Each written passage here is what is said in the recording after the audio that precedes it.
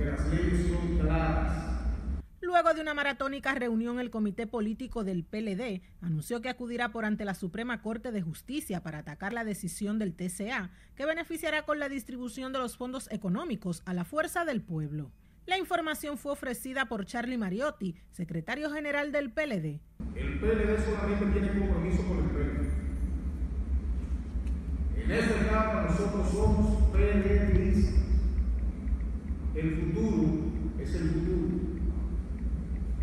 Entonces nosotros, nuestra, nuestra visión, nuestra misión es cohesionar, fortalecer y cumplir con, nuestro, con. El PLD tiene un plazo de 30 días para la apelación a partir de que sea formalizada la sentencia. En ese sentido, Mariotti precisó que cada uno de los miembros del comité político debe acogerse a la decisión de la mayoría que votó libremente. Porque respetamos ese mandato sacrosanto del PLD no puede perderse, debe rescatarse, que es el centralismo Las decisiones de las mayorías deben ser respetadas.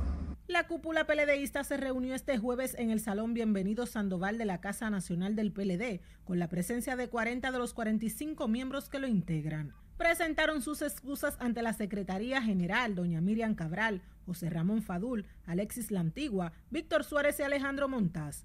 Ana Luisa Peguero, RNN.